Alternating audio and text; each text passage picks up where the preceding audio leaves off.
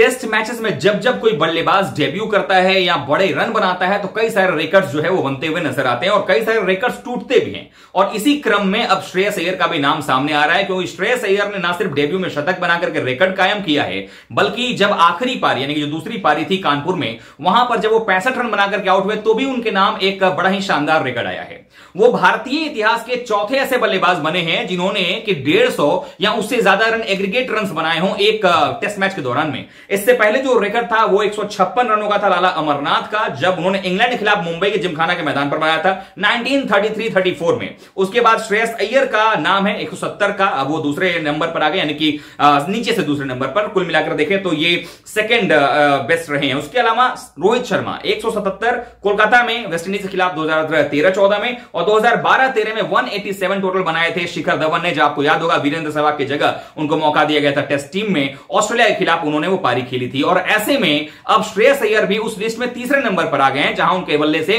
Total 170 run बने हैं पहले टेस्ट मैच में। कई सारे रिकॉर्ड्स की अगर हम बात करें, उसमें श्रेयस अय्यर ने एक रिकॉर्ड यह भी बनाया है कि गुंडप्पा विश्वनाथ के बाद वो दूसरे ऐसे क्रिकेटर बने जिन्होंने कानपुर में डेब्यू करते हुए शतक जड़ा हुआ है। कई सारे रिकॉर्ड्स इससे पहले भी जब शतक बना तो भी उनका रिकॉर्ड उनके नाम आया था। वो सोलह में भारतीय बल्लेबाज बने थे जिन्होंने के डेब्यू में शतक जड़ा हुआ हो। साथ ही साथ वो तीसरे ऐसे बल्लेबाज बने थे जिन्होंने डेब्यू करते हुए न्यूजीलैंड के खिलाफ शतक बनाया हुआ हो। तो कई सारे लगातार रिकॉर्ड श्रेयस अय्यर ने बनाए और जिन जिन खिलाड़ियों के रिकॉर्ड्स की फहरिस्त में वो शामिल हुए हैं, वो सभी बड़े बड़े बल्लेबाज बनते हुए नज़र आए, बड़ा नाम कमाया उन्होंने टेस्ट क्रिकेट में। उम्मीद हम करेंगे कि श्रेयस अय्यर भी ऐसा ही बड़ा नाम कमाए और ढेर सारे दिनों तक जो लगातार ढेर सारे रिकॉर्ड्स बनाए और कई सालों तक भारतीय टीम की सेवा करें। यही उम्मीद हम श्रेयस अय्यर के बल्ले से करते हैं।